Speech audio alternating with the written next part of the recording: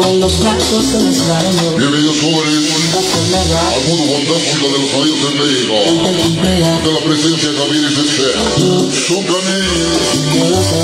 y tú